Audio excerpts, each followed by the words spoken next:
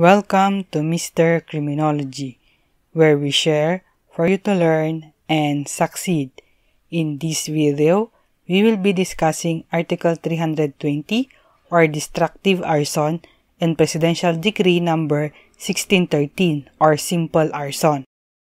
Presidential Decree Number 1613 Presidential Decree Number 1613 punishes simple arson and destructive arson. Presidential Decree Number 1613 repealed Articles 320 to 326B of the Revised Penal Code. Presidential Decree Number 1744 revived Article 320 or the article punishing destructive arson. So before PD 1744, ang nagpapanish ng arson ay PD 1613 at hindi revised penal code. Republic Act No. 7659 in turn amended Article 320 as revived by PD 1744. So, sa PD 1613, nirepeal niya yung Article 320. Si PD 1744, binalik niya yung Article 320. RA 7659 naman ay inamed yung Article 320. After knowing that, ano ngayon ang destructive arson? Destructive arson is a crime committed by any person who shall burn.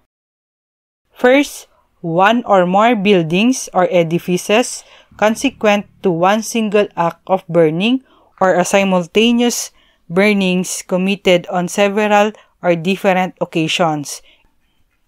Second, any building of public or private ownership devoted to the public in general or where people usually gather or congregate for a definite purpose such as but not limited to official governmental function or business, private transaction, commerce, trade, workshop, meetings, and conferences, or merely incidental to a definite purpose such as but not limited to hotels, motels, transient dwellings, public conveyances, or stops or terminals, regardless of whether the offender had knowledge that there are persons in said building or edifice at the time it is set on fire, and regardless also of whether the building is actually inhabited or not. Third, any train or locomotive, ship or vessel, airship, or airplane devoted to transportation or conveyance or for public use, entertainment, or leisure. Fourth, any building, factory, warehouse installation, and any appurtenances thereto which are devoted to the service of public utilities. Fifth, any building, the burning of which is for the purpose of concealing or distracting evidence of another violation of law, or for the purpose of concealing bankruptcy or defrauding creditors or to collect from insurance. So kung sinunog mo yung building to collect insurance, destructive arson po yon. Destructive arson is also committed under the following, but with higher penalty.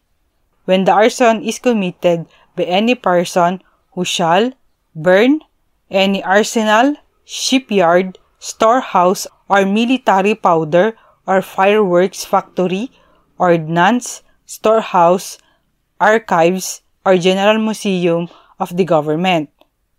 Second, in an inhabited place, any storehouse or factory of inflammable or explosive materials.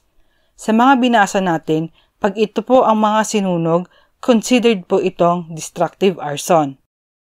Ano naman ang simple arson? Simple arson is a crime committed by any person who burns or sets fire to the property of another. Yung sinunog dito ay hindi kasama doon sa mga inenumerate sa destructive arson. Example, ang sinunog ay abandonadong bahay. Walang tumitira dito. Destructive arson kung tinitirhan pa ito. Property subject of arson. The property subject of arson can be real property such as house or personal property such as gamit sa bahay or farm at mga tanim na halaman. Who owns the property subject of arson? First, property of another. Second, property of the accused if the arson was under circumstances which exposes danger to the life or property of another. Kung sinunog mo yung property mo, wala ka dapat liability. However, kung sinunog mo siya under the circumstances na may expose din yung iba, pwede ka pa rin liable sa arson. Example, yung susunugin mo yung bahay mo at alam mong madadamay yung bahay ng kapitbahay mo. Thank you for watching. If you like this video, don't forget to share it and to subscribe.